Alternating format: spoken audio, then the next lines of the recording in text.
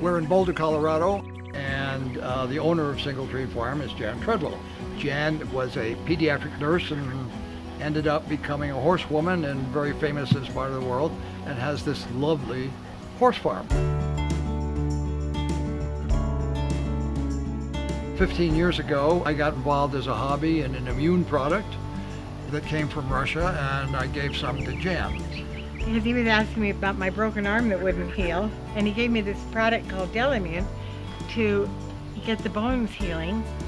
At the same time, she had two of these lovely Goldens, and one of the Goldens had had hip surgery and was limping and walked around never putting a back leg down. Jan gave them the immune product, and it wasn't long before the puppy was walking around on all four feet. And uh, hello, you guys. Uh, we decided because so many veterinarians were using our human product for their pets that I would start a pet line. We started a pet line and one of our products is for anal gland disease. And we use organic oat bran flour and our immune product called Del-Immune. And then we also add to that uh, probiotics. And Jan, what was the story with your dog? I mean, I was it one of these one of these puppies? This dog, this is Bambi.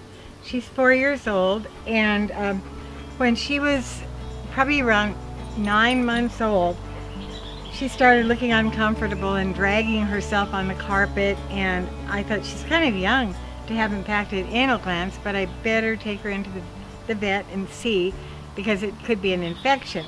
Well, she had severely impacted anal glands, and he cleaned them out. And then in another three or four weeks, she had impacted anal glands again, and he cleaned them. And John came by one day, and I was telling him about the dog and how she had this problem, and he said he thought he had a solution for it. So he gave me some of the anal gland product for dogs. We put her on it immediately.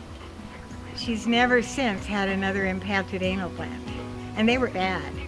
And she was uncomfortable. Now she's not uncomfortable.